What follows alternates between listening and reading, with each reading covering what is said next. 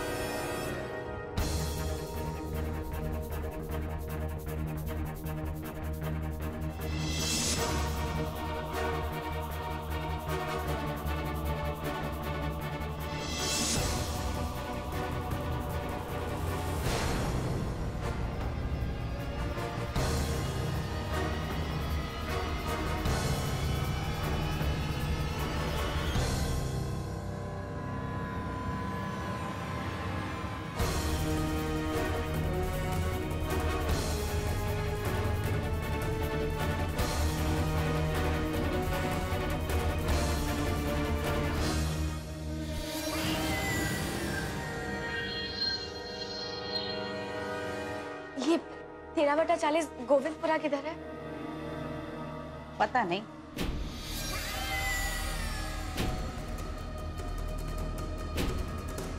ये- भाई साहब ये ये पता किधर है ये देखिए। ये सीधे हाथ पे जाके उससे मुड़ जाइएगा। सीधा जाके हाँ सीधा जाके मुड़ चलो।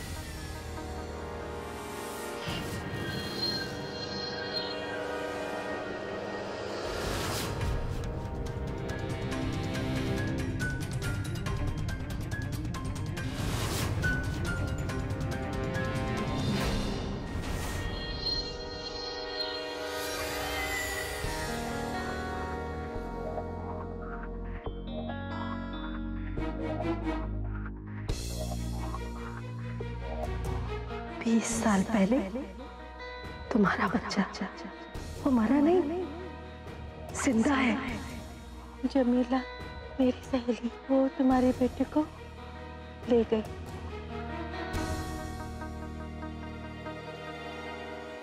अल्लाह कभी किसी के साथ नाइंसाफी नहीं करते। उसने भले ही हमारे रेहान को हमसे छीन लिया, लेकिन उसने उसने हमें हमारी बेटी से मिलवा दी।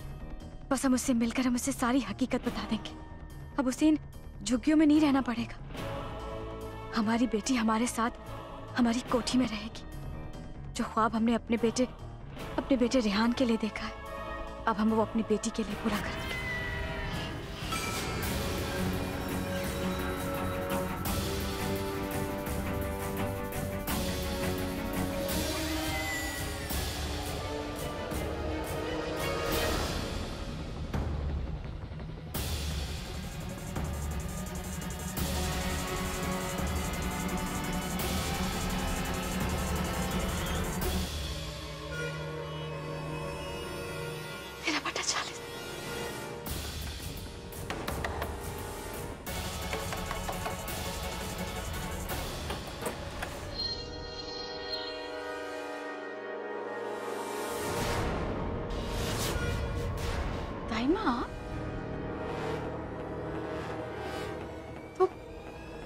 जमीला हैं? दाइमा वो हमारे बच्चे कहाँ हैं? तुम्हारी बेटी? हाँ। वो तो मरी हुई पैदा हुई थी। अब आपको झूठ बोलने की कोई ज़रूरत नहीं। हम जानते हैं कि सच क्या है। हमें सब कुछ सच सच बताइए। बताइए कि हमारी बच्ची कहाँ बोलिए। देखिए हमारे यहाँ तो बहुत सारे कत्ल हो चुके हैं। और हम अपनी बच्ची के लिए एक और खून करने से नहीं रुकेंगे।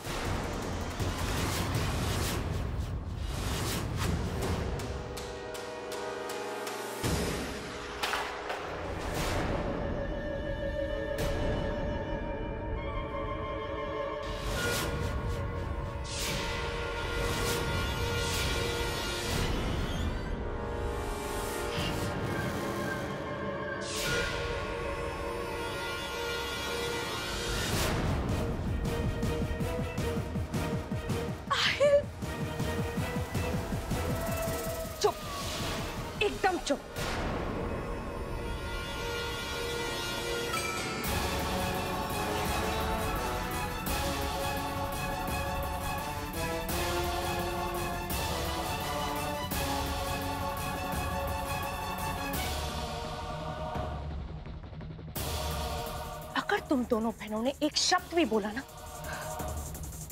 जान से मार दूँगी, समझी? बताइए हमारी बच्ची कहाँ है, वरना हम आपको मार डालेंगे। बताइए हमारी बच्ची है। बोलिए। उसे मैंने भेज दी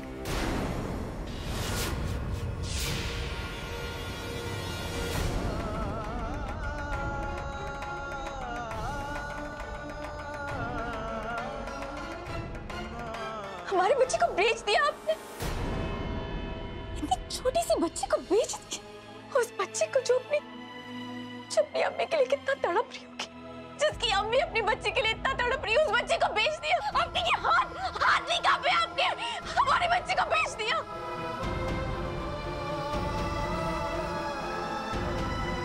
अच्छा किसे बेचा आपने? अल्लाह के लिए बताइए, हमारी बच्ची को किसे बेचा आपने? हम दुनिया ढूंढ लेंगे? बोलिए। नहीं पता। मैंने कभी उसका चेहरा नहीं देखा। नहीं जानती ना। कि हमारी बच्ची कहाँ जब आप हमारी बच्ची के बारे में कुछ जानती ही नहीं है तो आपको ज़िंदा रहने का क्या फ़ायदा? आपको तो मर जाना चाहिए। मर जाना चाहिए तुम्हें। मार डालेंगे तुम्हें हम खत्म कर देंगे अभी।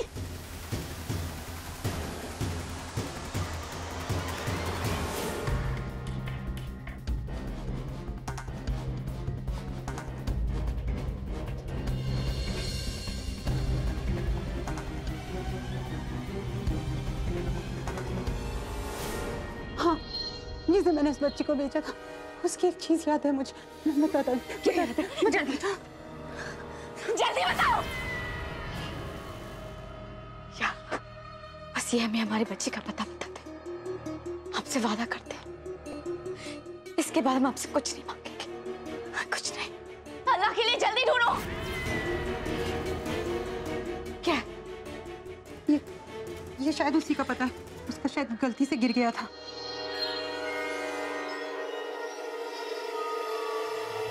लगता है मैं गुड़िया फैक्ट्री फिर से जाना होगा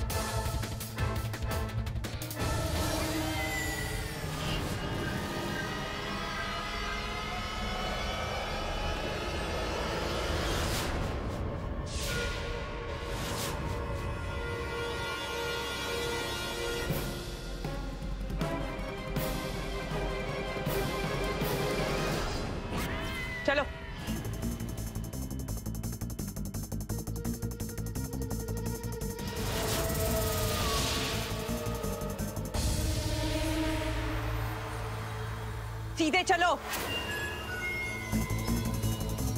चलो।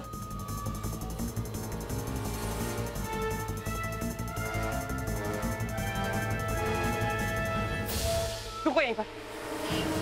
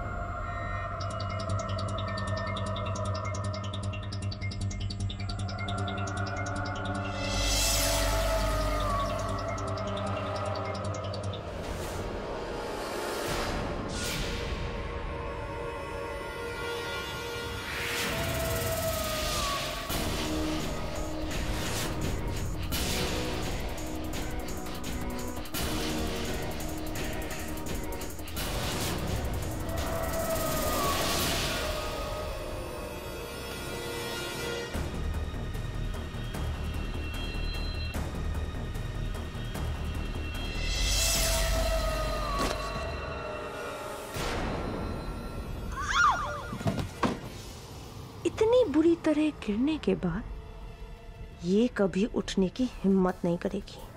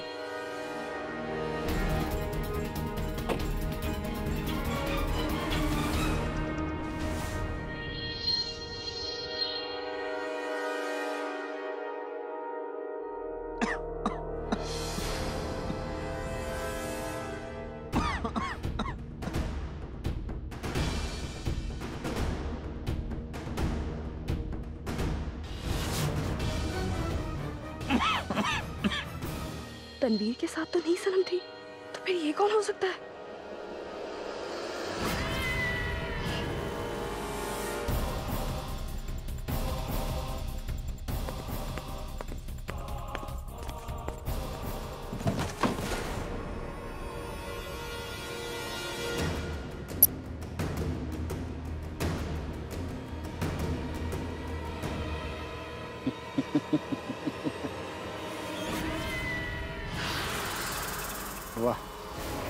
क्या बात है?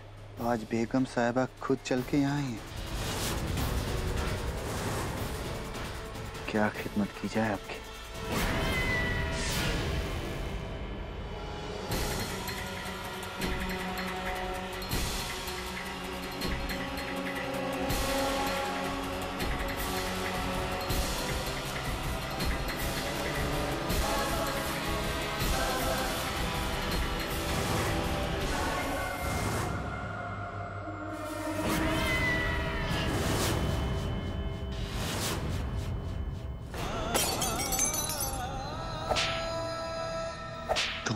हमसे निकाह किया। सिर्फ़ और सिर्फ़ हमारी दौलत के लिए हमने अपने खून, अपने बेटे का हक तुम्हारे नाम लिख दिया। और तुमने क्या किया? हमारे सीने में सीने में खंजर भोग दिया। तुमने ये भी नहीं बताया कि तुम्हारा एक नाजायज बेटा है।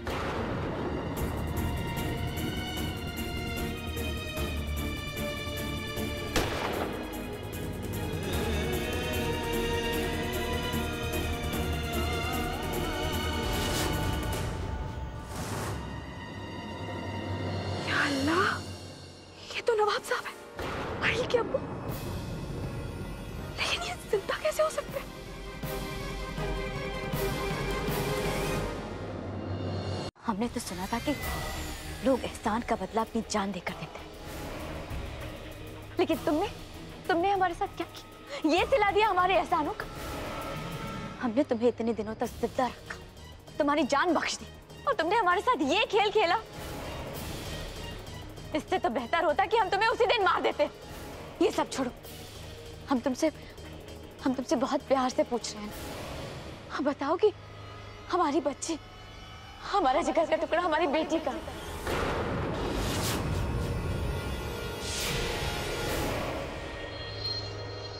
बोलो नवाब हमारी बेटी कहाँ है? तनवीर की बेटी? इसका मतलब रेहान की बहन भी है? अल्लाह जाने इस औरत ने और कितनी राज छुपा के रखी। हम तुमसे पूछ रहे हैं बताओ हमारी बेटी कहाँ है? क्या किया तुमने हमारी जान के साथ हमारी जान से बच्ची के साथ? अल्लाह के वास्ते बोल दो कुछ। सुना तुमने? तुमसे कुछ पूछ रहे हैं। जवाब बता दो हमारी बेटी कहाँ है, वरना हम वरना क्या? हमसे हमारी ज़िंदगी ले लोगी। तुमने हमसे हमारा परिवार छीन लिया, हमारा घर छीन लिया। अपने फ़ायदे के लिए तुमने 20 साल से हमें यहाँ कैद करके रखा। अब हमें मौत से डर नहीं लगता। जो करना है करो। लेकिन हम तुम्हारी बेटी का पता कभी नहीं बताएँगे। नवाब। कभी नहीं। अब तुम्हें एहसास होगा कि अपनों को खोने का गम क्या होता है। उसी सजा से गुजर रहे हैं। उसी दर्द को महसूस कर रहे हैं। तुम शायद जानते नहीं हमारा बेटा हमारा रेहान मर चुका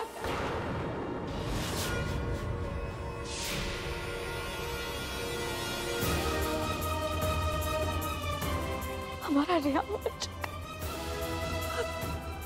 अब हमारे जीने की उम्मीद सिर्फ़ एक हमारी बेटी।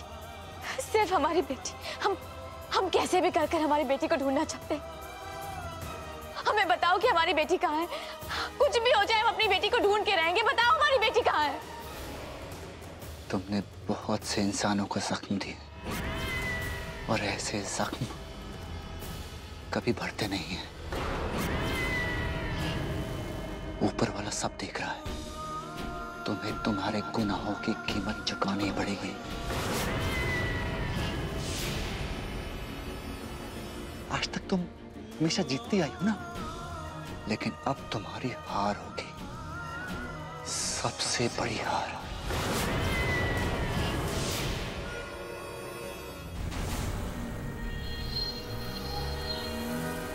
ये सारे राज सुलझने की जगह और उलझते जा रहे हैं। गुड़िया फैक्ट्री में तो ऐसा कुछ भी नहीं मिला जो जो मुझे मेरे अबू के कातिल तक पहुँचा सके। सुलेमान चाचा ने कहा था कि वो कातिल घर में ही था। लेकिन वहाँ तो ऐसा कोई भी नहीं। तो फिर आखिर ये, आखिर गुड़िया फैक्ट्री का राज क्या है?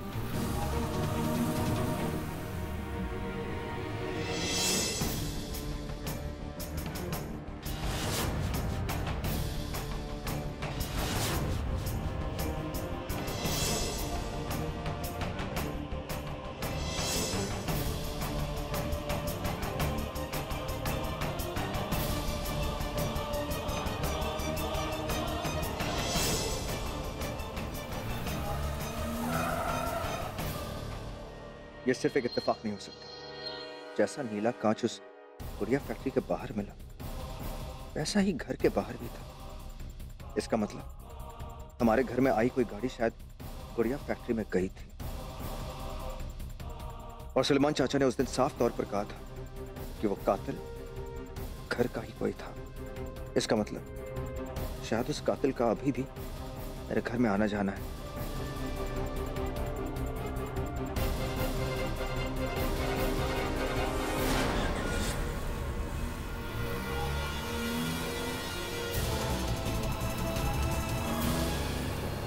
तुम्हारी ये आरज़ू कभी पूरी नहीं होगी, नवाब। जानते हो क्यों? क्योंकि खेल के सारे मोहरे तनवीर हमेशा अपनी मुट्ठी में रखती है। अगर आज तुमने हमें ये नहीं बताया ना कि हमारी बेटी कहाँ है, कैसी है तो अल्लाह कसम हम तुम्हारे बेटे आहिल की जान ले लेंगे मार डालेंगे हम तुम्हारे बेटे को, कह देते। तुम ऐसा कभी नहीं करोगी, क्योंकि जो मुर्गी सोने के अंडे दे रही है उसे तुम कभी नहीं मारोगे। अगर ऐसा होना होता तो तुम उसे कब का मार चुकी होती। आज की तारीख में आहल ज़िंदा है, और ये इस बात का सबूत है कि तुम मेरी वसीहत का तोड़ नहीं निकाल पाई हो। सही कहा है तुमने, नवाब। लेकिन नवाब साहब, आप बिल्कुल परेशान ना हो। हमने उस वसीहत पर आहिल के दस्तखत पहले से ही करवा लिए। और रही बात उसकी बीवी की तो वो तो हमारी कैद में है। और अपनी जुड़वा बहन को बचाने के लिए हम जहाँ कहेंगे, वो वहाँ दस्तखत करेंगे। ठीक है नवाब साहब? तुम्हें क्या लगता है? अपनी बात मनवाने के लिए जो भी कहानी तुम बताओगी, मैं उस पर यकीन कर जाऊँगा? तुमने मुझे नहीं मारा। इसका मतलब यही है कि जिस चीज़ को तुम ढूंढ रही थी, वो तुम्हें अभी तक हासिल नहीं हुई। बेगम साहिबा, एक दिन के लिए मैं काफ़ी बोल चुका।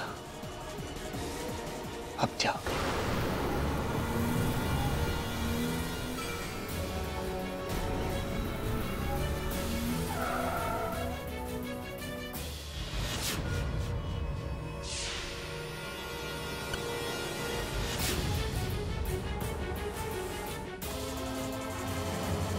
अम्मी की गाड़ी? लेकिन अम्मी की गाड़ी यहाँ क्या कर रही है?